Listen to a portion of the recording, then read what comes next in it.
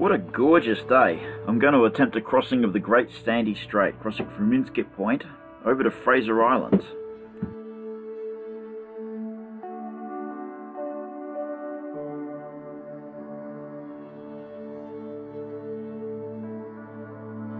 Last time I tried to make this crossing, the weather turned on me, forcing me to abort before I got blown away by a storm.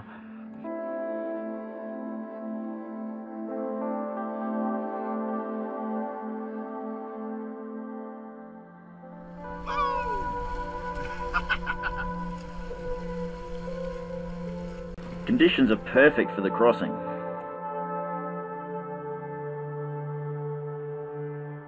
When I reached Fraser Island I was greeted by a dingo, who followed me up the coast a fair distance, and then I closed in to try and get some footage of him.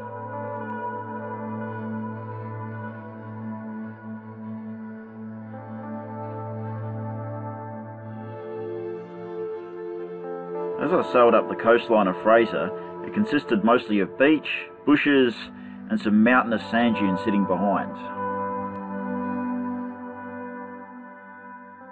Kaluluoy Creek, Fraser Island, beautiful spot. Fraser Island is the world's largest sand island. It also supports a very large population of dingoes, a kind of native dog which were introduced into Australia a long time ago by the Aboriginals. Apparently, they're quite dangerous and are prone to attacking people.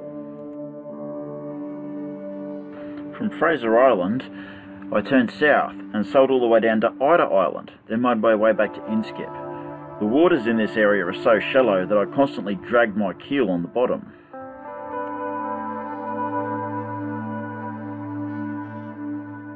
After 15 kilometres of perfect sailing, I came back to the campsite.